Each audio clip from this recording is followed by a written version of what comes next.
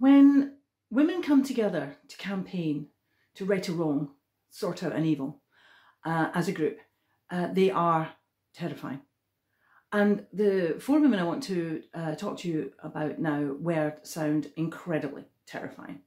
They were part of an organisation called the Edinburgh Ladies Emancipation Society. Now, it's probably the use of the word lady in the title there that makes it sound quite nice, doesn't it, ladies? Oh, how lovely, ladies. What could possibly go wrong if they all get together? Quite a lot, as lawmakers we're going to find out. There are a lot of emancipation societies in the UK from the end of the 18th century onwards, as about 1790s onwards, and and they have one thing that they are they're all uh, fighting to emancipate, and that's of course they are emancipating the slaves. They are fighting the global evil of slavery. And this is remarkable because let's not forget that these women have no official voice. They have no vote, they have no legislators, they have no MPs, they cannot be heard in the courts, they cannot be heard in Parliament.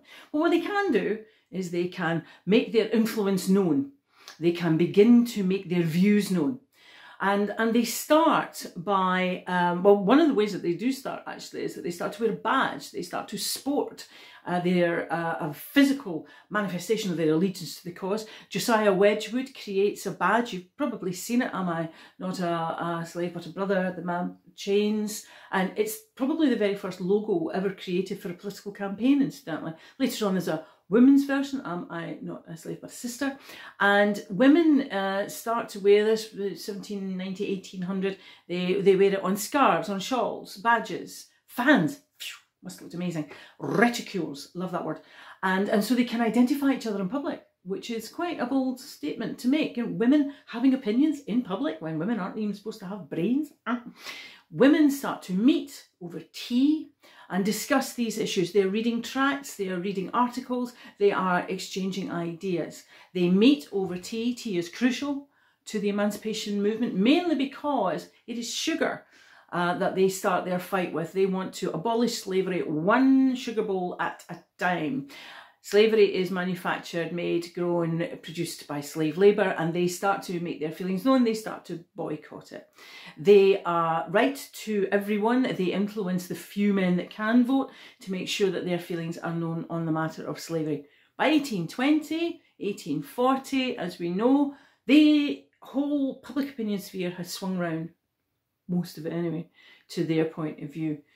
Um, 18 in the 1800s, early 1800s, slavery is of course abolished in the UK and by the 1840 the mighty British Empire has decided to outlaw it throughout its colonies and dominions. Of course it takes longer uh, to outlaw overseas because a certain Viscount Dundas, of whom there's much controversy at the moment, uh, gets involved in the legislation. And in order to sweeten the pill for the slave owners, of course, they are, they are offered massive amounts of compensation uh, because they've lost the slave labour. No, the slaves don't get a penny at all. So by the 1840s, you can imagine these women sitting back and doing their crochet and uh, resting on the chaise longue thinking, well, you know, that's we've done that, that's good. But no, uh, the Edinburgh Ladies Emancipation Society with these four women, Priscilla Bright McLaren, Eliza Wigham, uh, Elizabeth Pease and Jane Smeal decide no, they turn their guns on American slavery it's not enough for it to have been done in the empire, it must be done throughout the world. And again, I remind you, these women have no vote, they have no influence, but what they can do is they can speak, they can talk, they can write, and that's what they do. They organise, organise, organise, they plan, they have campaigns, they build alliances and allegiances, they send money to America to help with uh, slaves who have escaped, who are setting up businesses or schools. They are, they are, suffragettes would understand this, they are deeds, not words. That's what they're all about. They build allegiances and alliances, particularly with people like Frederick Douglass, the, the great emancipator. Frederick Douglass, who was the ex-slave who became the magnificent orator, uh, owner of a newspaper, also the most photographed man in the 19th century. So they uh, build strong allegiances with, with the emancipation movements of the United States of America.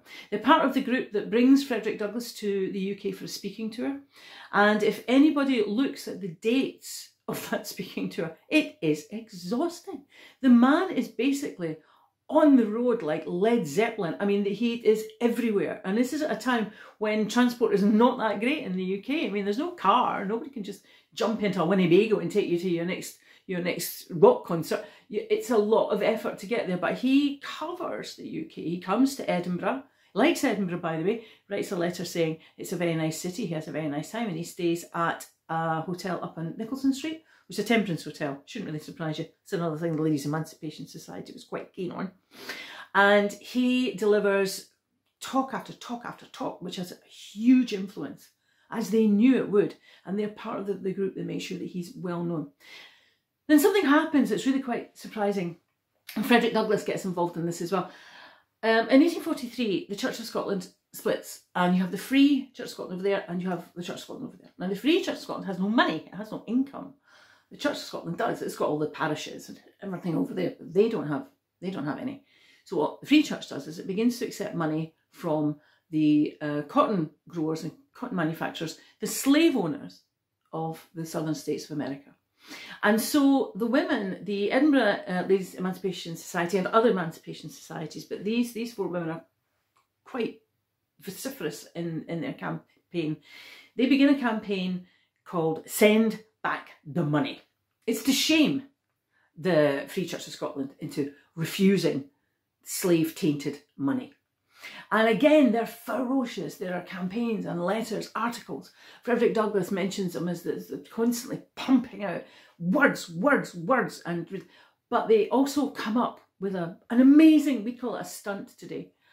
During one of the General Assemblies of the Free Church of Scotland here in Edinburgh, they plan and they do climb Arthur's seat at night and carve the words, send back the money into the turf of Arthur's seat. So that if you're, attend, you're attending the assembly, you cannot fail but to see it. It is an astonishing achievement. And it's an astonishing achievement because I would ask you to think about these women for a moment. They're climbing up, and their friends, they're climbing up Arthur's seat to carve these words into the turf. They're not wearing jeans and Doc Martens. They're wearing dresses to the ground that get wet and sodden and wrap around your legs and yucky. And they're not wearing proper shoes that we would recognise to do the job. These are women who lift teaspoons, not trowels, but they are up there. And how, how do you, you don't have floodlights. How do you get enough light to do this? I mean, there's a moonlight, but mm, it's still, it's quite dangerous for the time. How do you even go about making sure you're covering the right words in the middle of the night? I mean, you'll have to make sure you've got your S the right way around. Small practical details like that, but they did it and it had an impact. And it's a remarkable thing that they did. And then once the Civil War comes and America abolishes slavery, you would think once again that these ladies retired to the chaise longue and decided that the battle was over. But no, they, they once again regroup and start the fire for the right for women to vote. And all of the campaigns that the suffragettes had owe a lot to groups, particularly like the Edinburgh Ladies Emancipation Society, because they planted the seeds of influence, campaign, writing, exchanging views, deeds, not words, action. I think that the suffragette movement and even the campaigning movements of women today owe a lot to the lessons that were learned in the very, very early days by groups like the Edinburgh Ladies Emancipation Society. And we should be exceptionally proud of those sisters all those years ago who decided, despite the fact they had no vote and no lawmakers and no voice in Parliament, that they were going to change the world. And that's what they did.